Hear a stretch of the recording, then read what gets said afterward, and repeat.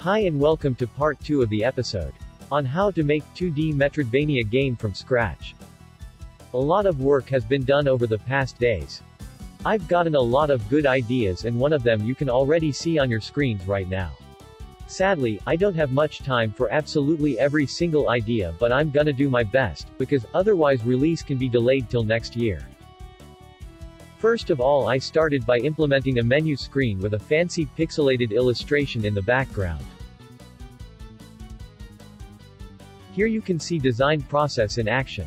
At this moment there is not much in here, everything is working well. Here I'm just adjusting some elements, such as fog speed, and castle position, according to our eye line. Do you see this giant sprawling castle shrouded in fog? This is a link to a popular vampire game series. And from here our journey begins.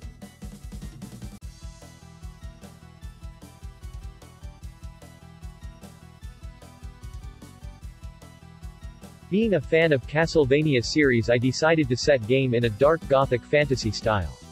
I already drawn some astonishing assets, and add some parallax effect to them.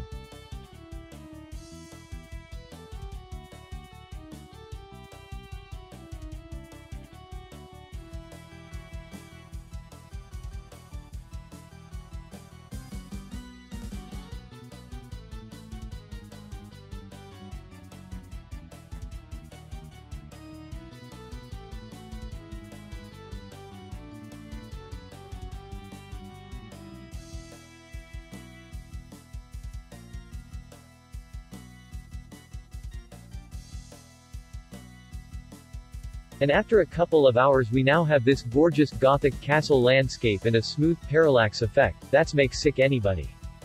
I also made gothic style UI, and added some more settings to the game, such as music and FX toggle buttons, and reset progress feature. And it was tricky but I also implemented gamepad feature to interact with the UI.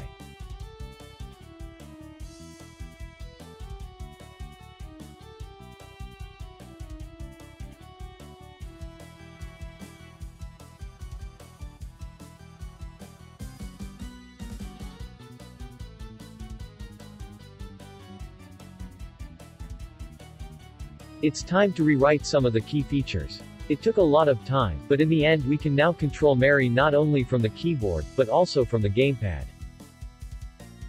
Also, new dialogue system was implemented. Dialogues in video games exist as the foremost way to guide the player through the game. They are there, to keep the player involved, to keep the story moving. These conversations can take the form of quests, hints or handoff conversations that introduce players to new characters and locations. And from now I can push any dialogue boxes anytime and anywhere in the game. And this is a big step to storytelling. Lastly, I created some test level, add camera movement and some sound effects.